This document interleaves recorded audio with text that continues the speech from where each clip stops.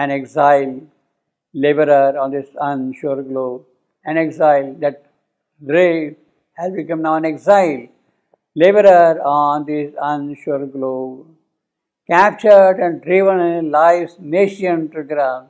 That is ignorance. This is what I was just telling you. Captured and driven in life's nation ground, hampered by obscure cell and treacherous nerve, the physical, the vital, down below is hampered by obscure cell and treacherous nerve. It dreams of happier days and nobler powers the natural privilege of unfallen God. What is the natural privilege of unfallen gods? Nobler powers. Nobler powers. That is the happier privilege of unfallen God. Nobler God. Recording still his old lost sovereignty. So it still remembers that thing. It dreams, it, that errant ray, it dreams of happier states and nobler power, the natural privilege of unfallen God, recording still his old lost sovereignty amidst earth's mist and fog and mud and stone, amidst earth's, amidst, I am, earth's mist, sponty, and fog and mud and stone I am. Practically a monosyllabic line, very powerful line.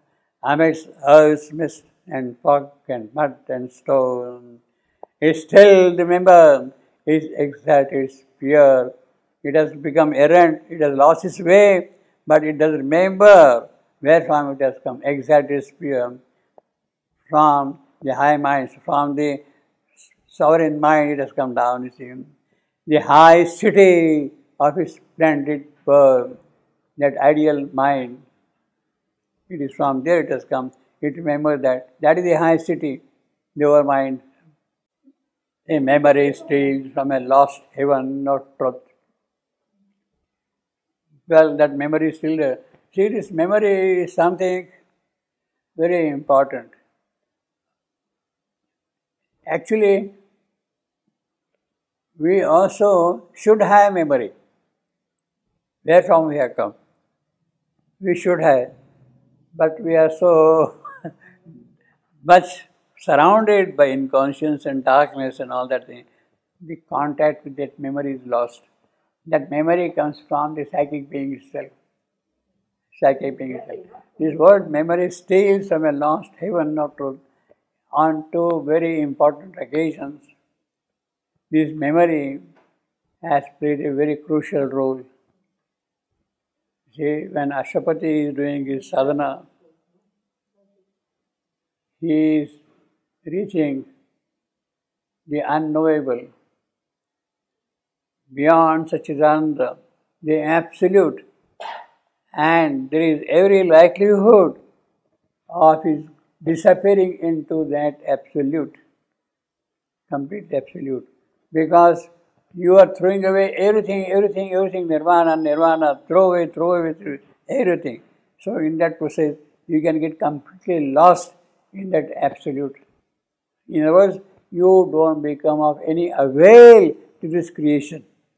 You are no more than able to do anything in this creation. Meaning, if you are lost into the absolute, you are out of work, out of function, completely gone, you see. But while he is experiencing that state, a memory awakens in him. A memory awakens in him. What does that memory say? Look, Ashwapati, you can't disappear like that into the unknowable. You have come here for a certain work to do. Don't forget that you have work to do. Don't forget that. Attend to that. You have taken a special birth to carry out a certain work a certain experience of nirvana is necessary, you have to dissolve, remove everything which is inconscient in you, but that does not mean that you should disappear into the unknowable, into the absolute. So that memory awakens him and he says, Yes, I had to do something. And with that memory, then he prays to the Divine Mother please come down, etc., etc. And then the sequence follows, you see that. So that is the case, that is what happened in case of Ashoka. Exactly the same thing happened in the case of Savitri. Exactly the same thing happened in case of Savitri is told, Annul thyself that only God be. Remove everything from you. Everything, everything, that only God be. Annul thyself. Annul. Nullify completely yourself. In words, you empty out yourself fully to make room for God alone. Now, in that process, she too could have disappeared into that nihil, into that nirvana, disappeared completely out of gone existence. But then again, the memory awakens in her. Savitri, you have come here to do a certain work. You had to conquer death in this mortal world. You had to conquer death, you see. Don't forget that, you see. And therefore, she comes back again from that state of consciousness and starts working, and then the dialogue begins with death and all that thing happens. So, memory is something very important in all these cases. It is the inner memory of the soul which tells you why you are here. So, when people want to say that I want moksha and disappear from here, it means that you have forgotten what for you had come. You want liberation, you want moksha, you want freedom. For what?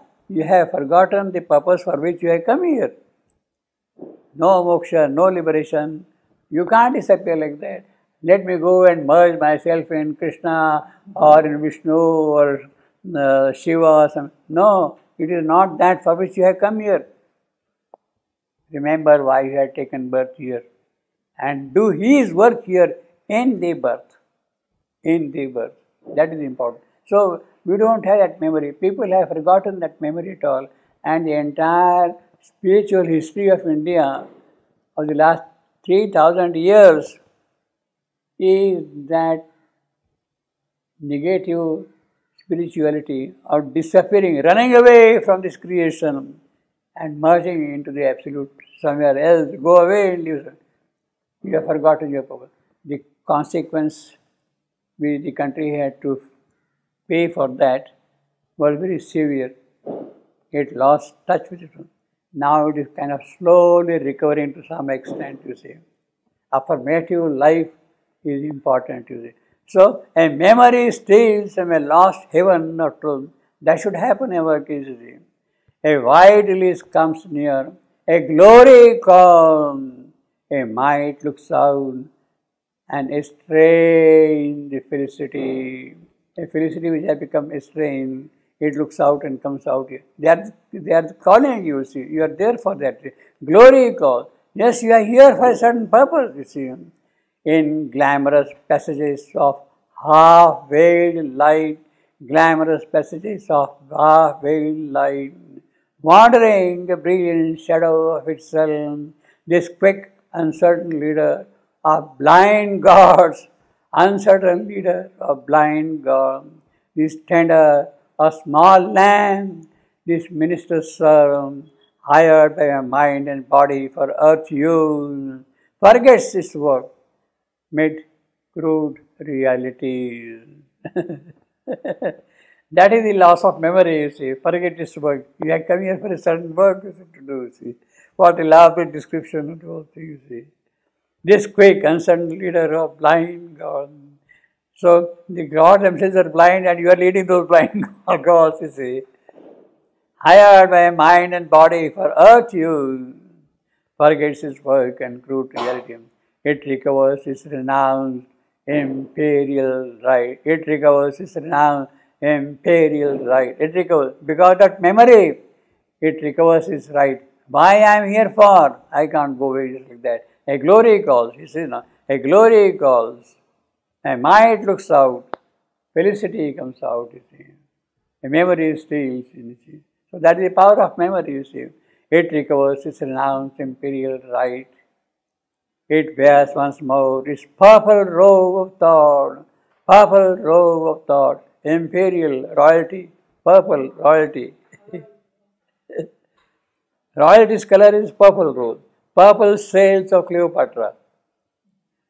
Cleopatra is moving on a barge on River Nile and the sails are purple curtains, purple robes of Cleopatra.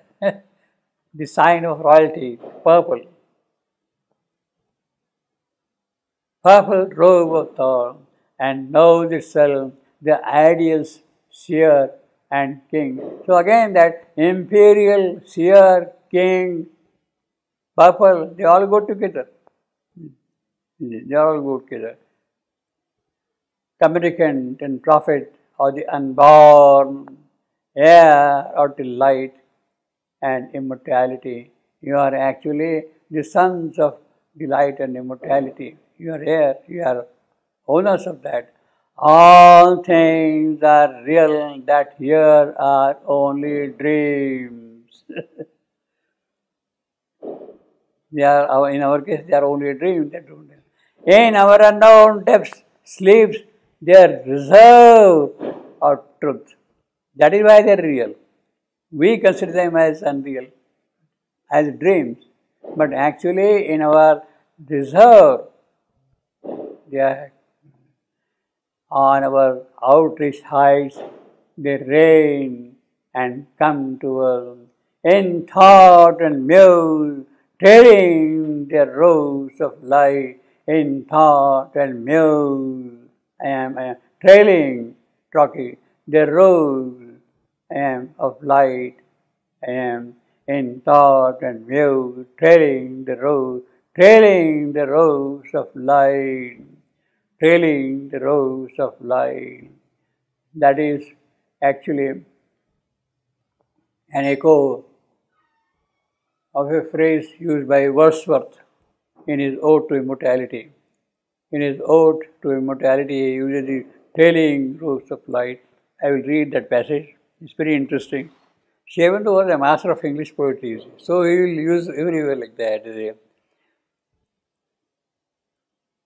Our birth is but a sleep and a forgetting. Wordsworth is writing, Our birth is a sleep and forgetting. The soul that rises with us, the soul that rises with us, our life's star hath had elsewhere is setting. The star had a setting symbolism. The soul that rises with us, soul, our life star, hath had elsewhere its setting and cometh from afar. That soul is coming from. It's a very beautiful description. Actually, it is a perfect spiritual description in a certain sense.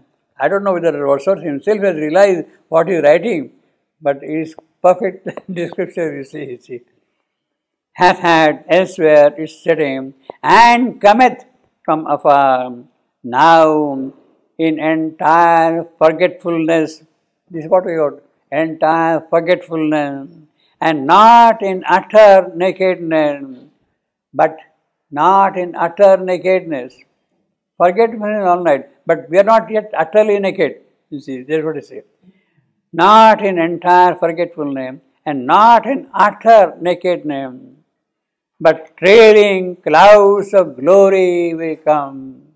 Trailing clouds of glory we come. Trailing clouds of glory we come. Here, trailing the robes of light, trailing clouds of glory we come. From God, he says, from trailing clouds of glory we come from God, who is our home.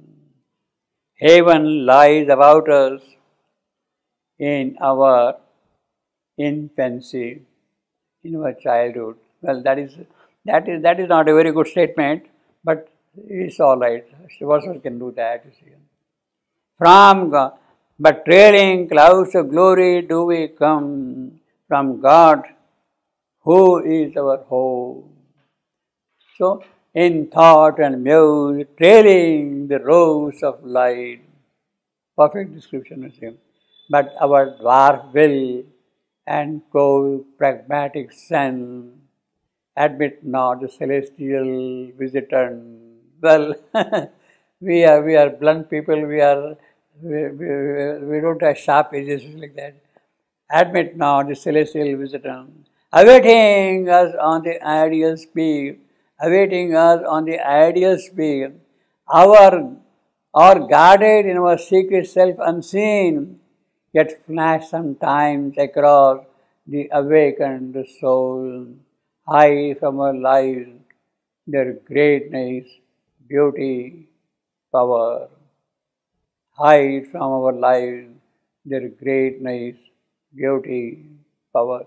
So this is the description of trailing, trailing robes, trailing the robes of light, trailing the robes of light. Flash sometimes across the awakened soul, hide from our light the greatness, beauty, power. Our present feel sometimes their regal touch their other visitants, celestial visitants. Celestial visitant.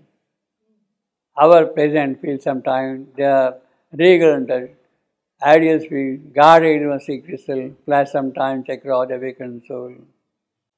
Our future strides towards their luminous throne. Out of spiritual secrecy, they get out of spiritual secrecy, they get. So these ideals, the masters of the ideal, they belong to spiritual secrecy. They belong to spiritual secrecy. They were mind. So this is the entire definition the spiritual mind, not the supermind. Supermind is transcendental, not spiritual in that sense.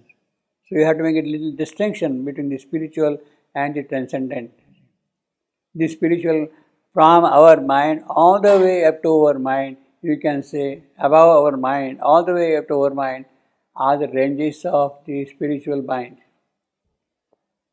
Higher mind, living mind, intuition, overmind, they are all aspects of spiritual mind. Spiritual secrecy, they gaze, immortal footfall in mind's corridors sound. So they are walking in the corridors of mind and their footfall you can hear sometime. Our present feel sometime the regal turn, our future stride toward the luminous throne. Out of spiritual secrecy they gaze, immortal footfalls in mind's corridors sound. Our souls can climb into the shining place. The breaths from which they came can be our home well, it can become our home. So that is the hope, that is the possibility, and it must happen. Our souls can climb. they should climb. They do not climb is a different thing, you see. They should climb, our souls should climb into the shining plains, those spiritual plains, the breaths from which they came can be ours.